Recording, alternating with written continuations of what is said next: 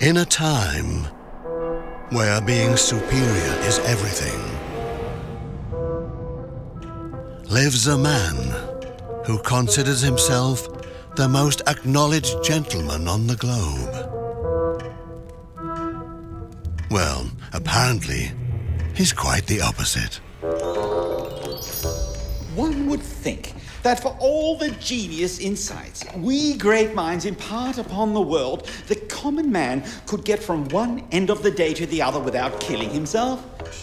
Not only is he notorious for never lifting a finger for anyone, Handouts only encourage these opportunistic creatures to demand more. More alms, more charity, more welfare. good lord, no! He seems to be absolutely proud of it. It takes but a shred of common sense to avoid calamity. True. Hadn't there been that one chilly November evening? I say, stupid things only happen to stupid people.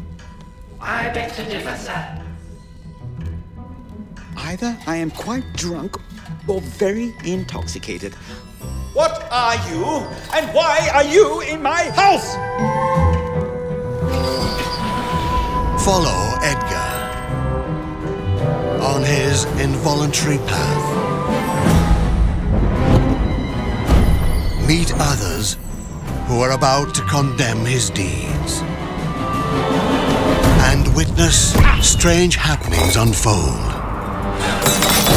To get a glimpse of what he never desired to become.